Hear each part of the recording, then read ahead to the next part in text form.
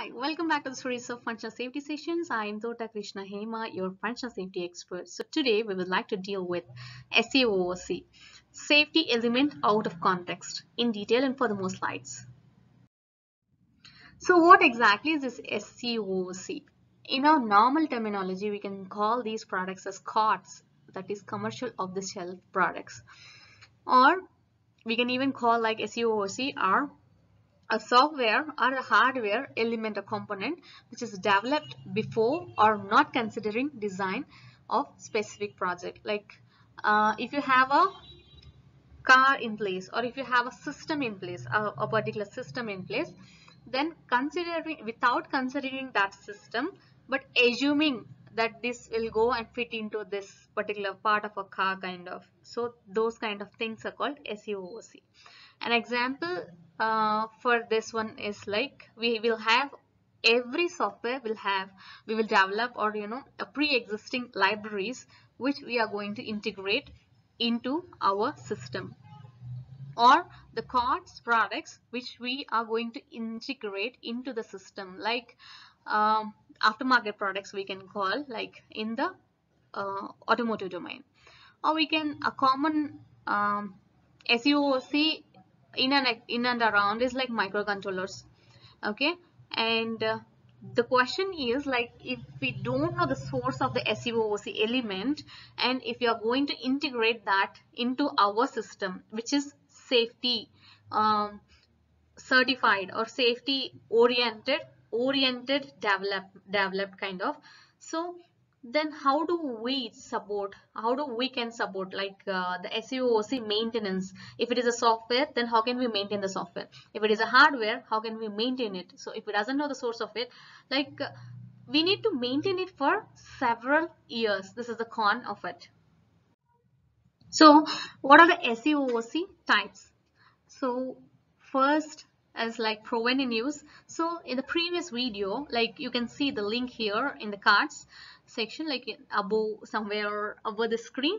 And uh, yeah that's a proven in use like which is already developed and which is proven in the market and it which is running um, which is existing in the system or the previous cars and uh, for many many years. And we can reuse it into the system. So as a summary. And uh, uh, we need to have the analytics for the same uh, that it did not cause any harm or you know any threat to the vehicle any hazard to the vehicle or these kind of things we need to consider. And the second thing is like developed as per ISO 26262 part 6 that is software part of it but with separate safety life cycle SEooC development is based on assumptions. Assumptions in requirements, assumptions in target system design. This all together will make SEooC requirements. So what are these assumptions as per ISO 26262? Item definition to assume that the components with which the system is going to interact or you know we need to consider the system in which it is going to go and fit in or integrate in. Safety goals ASIL levels and even the FSR functional safety requirements and technical safety requirements. How can we define ASIL for a SEooC component? So it is one of the toughest tasks to define ASIL for SEooC because we need to consider uh, we can you can easily consider that as ASIL-D because ASIL-D if we consider almost all the requirements will be fulfilled but the cost of ASIL-D component is much more than the lower ASIL levels. And uh, what do we need like to do um, to integrate SEooC into a target system? So first thing is we need to conduct impact analysis as per part 8 of ISO 26262 and so after conducting impact analysis if it is acceptable and the safety goal is with respect to uh, the system or system in which it is going to integrate then we need to, no need to take additional action. So else if you see some discrepancies if it is not acceptable then we need to change the item definition or the functional safety concept or um, the changes or we need to make a minor changes in SEooC element or we need to change the complete SEooC component itself so what are the pros of SEOC usage? So it saves the certification cost, ISO 26262 certification cost through reuse of components or sometimes we don't uh, no need to recertify this SEOC component and it also allows the suppliers to develop the software and hardware components according to ISO 26262 V model.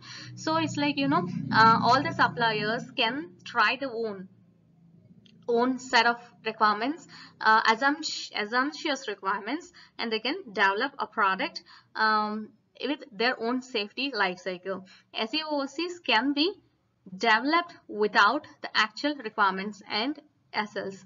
Uh, so as we said, because it is it is based on assumptuous requirements, so it's like you know there is no need to um, think about like you know uh, or you know not think about it is like you know consider or we can develop without actual requirements. So because you know most of the uh, aftermarket products or uh, the commercial of the shelf products are comes into this requirement. So uh, if i am having a head unit in place and this head unit can fit into this this much like a normal dimensions i will look into uh, in any car of uh, for the head unit uh, wedge and the groove and we can see like yeah this can fit into these these these models. Like whatever is available in the market like most of the models it can fit into.